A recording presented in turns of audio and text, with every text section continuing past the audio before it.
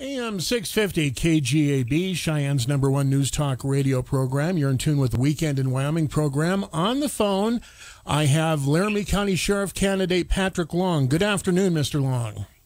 Good afternoon. How are y'all doing today? Good. How are you doing today? Good. Thanks for having me on your show. Now, you announced recently you're running for sheriff. Tell us a little bit about yourself. Correct. Yeah, I got into law enforcement back in uh, well, actually, when I graduated uh, high school, I went to college and graduated over in uh, Riverton at Central Wyoming College with an associate's degree. Then I got into law enforcement with uh, the Wyoming Department of Corrections, and I worked there for a couple years and continued to advance. And I did some uh, other state work in uh, security that kind of managed my uh, skills and built on my resume as and more of a community setting, so that I could understand how uh, protocols and mostly with the state would work. And then uh, I transitioned up here to Laramie County about six years ago, and have been in the detention center for six years, and uh, see a lot of issues here in Laramie County that I think I'm the man to fix. So uh, I'd love to have the people's vote here, uh, community oriented for sure. Uh, I just don't agree with a lot of stuff the, the current administration's doing, and I think it needs fixed. And somebody uh, with enough uh, brass like me can fix that. I'm not afraid to take the heat and get out there and let people know who I am. So, what what are some of the issues that you feel need to be fixed? Well, we have a lot of things going on in the sheriff's office and, and actually in Laramie County that aren't being addressed. There's a whole lot of uh, seems to be focused crimes on uh, on on revenue. You know, it's easy to get the DUIs, so let's have my guys get the DUIs. But in the meantime, we're leaving other more important issues out there in the community. We're not doing anything for the homeless population. I strongly disagree with the uh, open container issues that got passed downtown. You know, that's going to create problems. Uh, that's not a reasonable solution to handle the homeless uh, transient population. We we don't need to uh, lock people up and throw away the key. That's not that's not the goal of a community. The goal of the community and the goal of the detention center and the sheriff should be to rehabilitate the criminals and get them back on the streets through education, through programs within the detention center to get them as functioning individuals within the community. And and, and it's really sad to say, but that's not uh, what's happening right now. What's what's happening is it's a throw away the key mentality, and and that's not helping anybody. And that's how come the recidivism rate, if you look at it, so high the crime rates are so high, we we don't really do a whole lot of community oriented policing right now, and that's a problem. There's a detachment between the the city, county, and state departments, and we need to get back to functioning more as a team unit, as a whole, uh, and everybody needs to get on board. And we need to do more functions in the community to let people know that we're there, that that we're not just somebody to be scared of, and that we're not just going to put our name all over town when it's Frontier Days or special events. And and uh, so yeah, I hope that kind of answers that question. Uh, you know, there's community-oriented policing, but we're not doing it. All we're doing is focused on one little problem area, and that's what we're going to do because that's what gets the numbers for us. And that's just not correct. It, it's got to be a joint function between all agencies and work together to get things accomplished and get the community back on track. It, it's a it's an issue when we when the sheriff's office current administration creates policies and doesn't follow them themselves. Uh, and and they need leadership. There's not leadership there that's willing to be accountable for the actions. And I've always been accountable for what I've done, what I stand behind, and what I do, and I'll do that for the citizens of Laramie County. Okay, following up on a couple of points you touched on, when you're talking about community policing, uh, what is community policing and how would you like to implement it if you were elected? So, so what happens with community-oriented policing is that everybody um, out there on patrol should have an assigned district or an assigned route that they're going to kind of look at. They're not just going to pick little hidey holes out by the outlaw to go ahead and say, oh, it's, you know, at this time we're going to go ahead and turn those sirens on and bring somebody in for a DUI. They, they should be out in the community getting to know the families that live in that neighborhood, getting to know your uh, rural citizens and, and all that stuff. So community-oriented policing really focuses on the community so that you can have a good working relationship with everybody in the community. That way, when you have an officer out there in that section of the community that he's assigned to, he understands. Oh, you know, I know this person.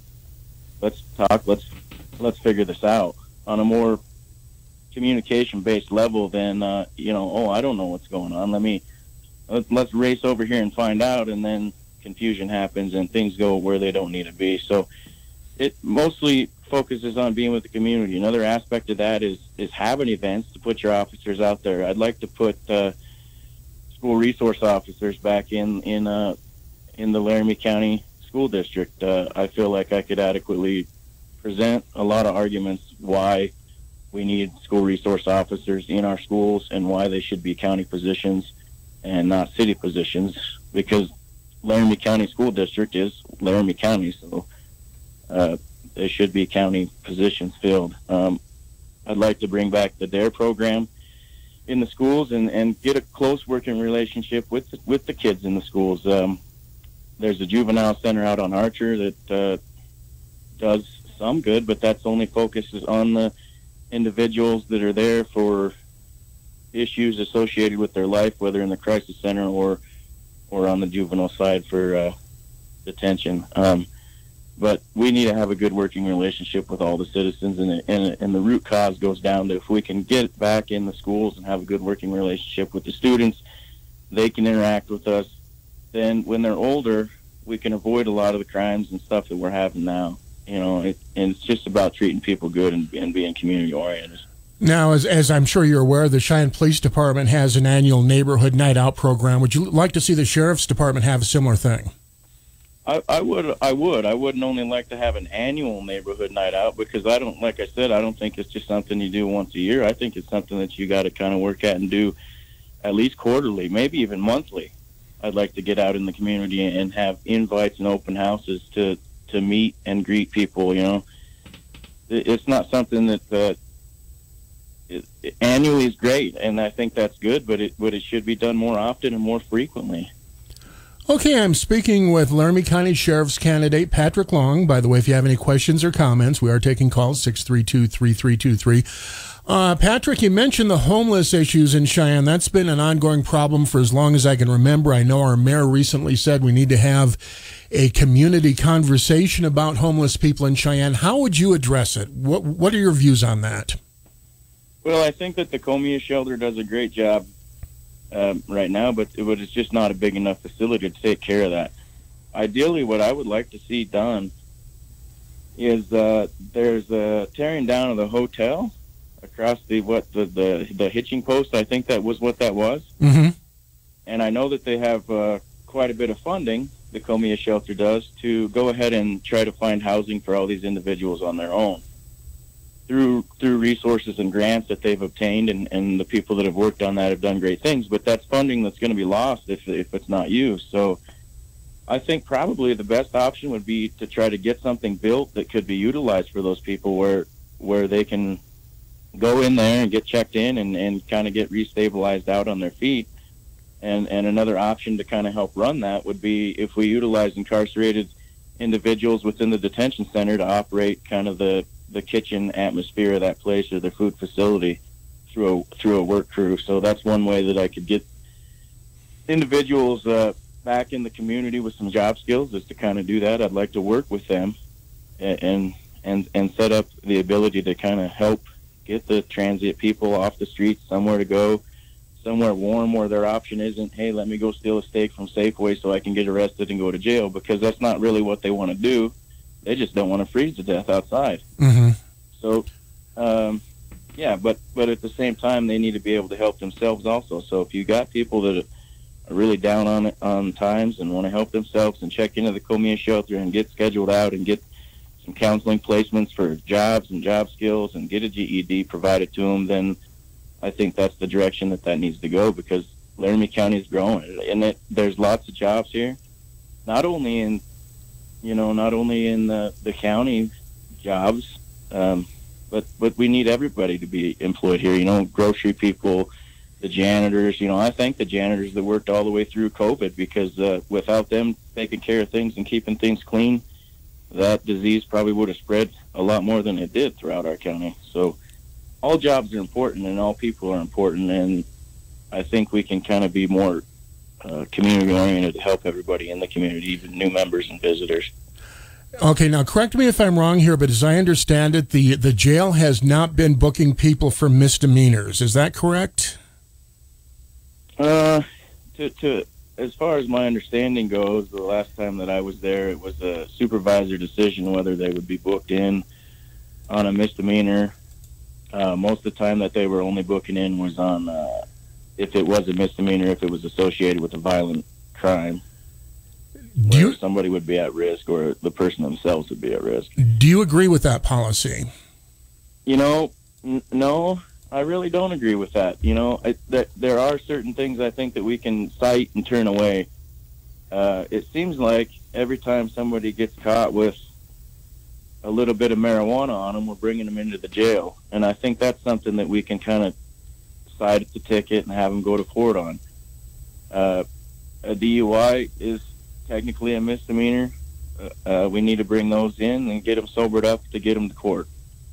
There's there's a lot of other things that can be misdemeanors that we need to address and and take care of. There's a lot of mental health issues in with a lot of those arrests going on. So a lot of those people that are getting arrested and cited on misdemeanors should be incarcerated just for the fact that their mental state's not appropriate to be in the community at the time until they can get um, help that's oftentimes provided to them within the jail from the psychologists that we have there to, to help them out and kind of get them back on track.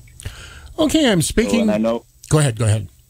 Sorry, and I know that uh, there's been a lot more issues with that due to the COVID, and that's why they were uh, turning people away for overcrowding. But I don't think it's going to get overcrowded. We have there was 450 beds there. Uh, 200 of them were full, but the reason why they don't want to fill up the new jail that was paid for by the county is because they can't keep it staffed. So that's another issue that I'd like to tackle as soon as I'm the sheriff is getting that jail up to staff, and I can do that as long as they, as long as uh, people are going to be treated right and not kind of not treated like it is. So the environment needs to change altogether. So are you saying that they're having problems staffing because of a poor work environment? Is that is that what you're saying? Exactly. There's a there's a poor work environment. There's a poor team. There is no team that I would I would go as far to say that the current administration, and I guess I'm probably going to get lit up on this, but uh, they they're uh, derelict of duty and incompetent. Okay, of course, the the current sheriff is not running for reelection. Um, Danny Glick is, is retiring. Uh, so, do you still see that as an issue, maybe with Don Hollingshead or not? Yeah, I do. I see that. I see a majority of how come there is short staffing is through Don Hollingshead himself. How so? Well, he's right now he's functioning as the detention captain, so that's pretty high up there in the chain of command as far as that goes. He does a lot of the hiring, a lot of the interviews. He's had six years, I think, as the as the captain there. Maybe no, maybe only four years, but he's had time to fix the staffing issue. He's given uh, he's had a lot of ideas on how to fix that. He's had uh, other staff members come to him and talk to him, you know, and he can't get it done. He can't fix it. There's the only reason that they're not working on a what's called a combined schedule is because the county commissioner shut them down and said, "Hey, you're spending way too much money on this combined system. Get get off it. Get off the overtime." So they did, but they're still spending money getting people in there because they have to have a minimum number to work a shift. And so, yeah, your people are getting burnt out. I mean, these are people that have been there for anywhere from a year to five, six, seven, eight, nine, ten years getting burnt out, and uh, it causes issues. So they they need to treat the employees better, and they and they don't do that. They don't care. They care about what they have, and that's it. And so until until the environment changes with somebody new that has innovative ideas like myself, it's going to be the same old environment covered up and and hidden away from the community, and that's not the way that you run a sheriff's office. Okay, I'm speaking with Laramie County uh, Sheriff's candidate uh, Patrick Long. Uh, Patrick, it's it's no news to anybody who lives here, anybody in law enforcement, uh, that we seem to have an ongoing uh, crystal meth problem in our community. Is there anything we can do about it? Well, there there is a lot of things we can do about the the methamphetamine. That there's a whole lot of canines. I think in Cheyenne alone, the canines can be useful but a lot of things is to do about the crystal meth issue is is like I mentioned earlier. It takes school resource officers to get back in the schools, back in the communities, so that we can kind of more so be mentors to these kids in in school and and keep them away from a lot of these issues that they're going to have. You know, I I think uh, when I was back in in school, they had the Dare program, and, and it was a good program. Um, I think a lot of times that helped a lot of kids just to know that hey, you know, I can talk to somebody here about what's going on, and and they're going to help me. They're not here just to arrest me, harass me, uh, do all these other things that are associated with that. And and I think uh, the meth is a big issue. That and the and the biggest issue is that the chemicals and the products are so readily available to make it. How do we take care of that?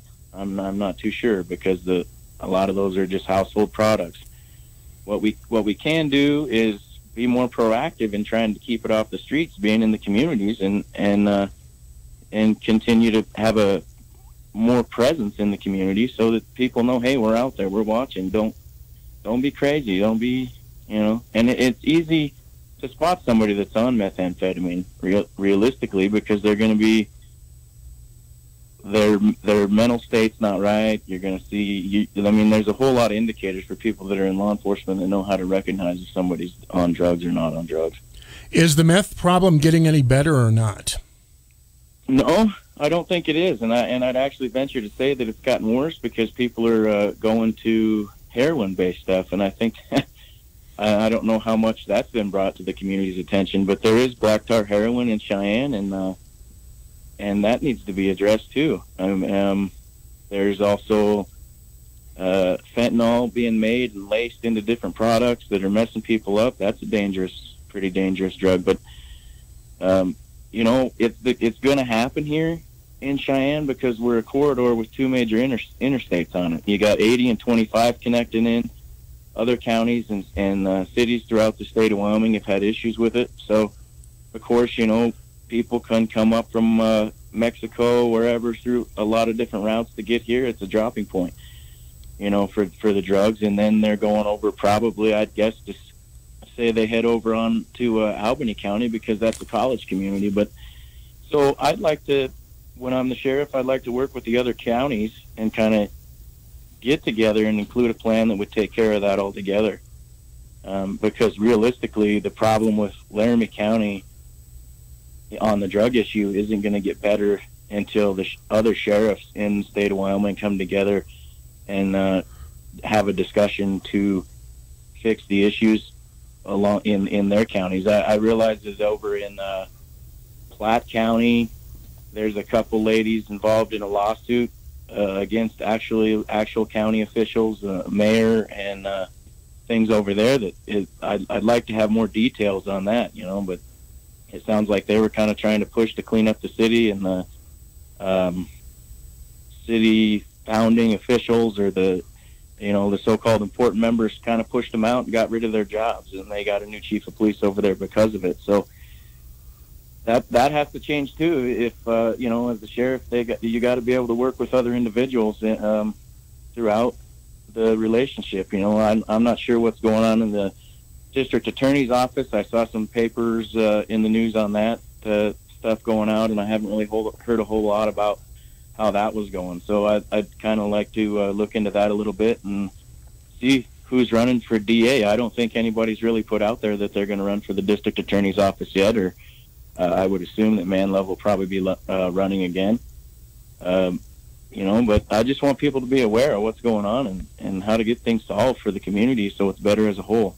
I haven't heard of any other can. In fact, I haven't heard of any candidates running for DA um, at all. I, I, I, don't know if Leigh Anne Manlove will run for re-election. I haven't spoken to her about that. I haven't really heard of any candidates filing, but we're still a year out too, so there's ways to go. Um, okay, I'm speaking with Patrick Long, candidate for Laramie County Sheriff. Of course, uh, Patrick, if you go a few miles south here, marijuana is legal. Is that a problem for us in Laramie County? You know, it's it's uh it's really not a problem. The, the marijuana is really not a problem when you when uh, when you look at all the other drugs here. Um, you know, eight miles to the to uh, Colorado, people people are going to do it there. I don't think that the marijuana is um, an issue so much as the meth and the heroin and the uh, fentanyl is in Cheyenne, and it, and it, I would say that it is a slight issue, but um, uh, alcohol itself and the DUIs associated with that are, are a more major issue than uh, than the marijuana is.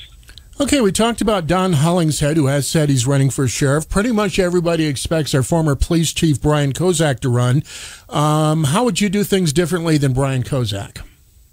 How would I do things differently than Brian Kozak? Yes. Well, you know, I I think that the mayor, the current current mayor uh, Collins, made an excellent decision when he decided to get a new chief of police and and uh, went from the outside to get one and introduced him into the community because that's what he saw to be fit for change for for uh, the city of Cheyenne and Laramie County.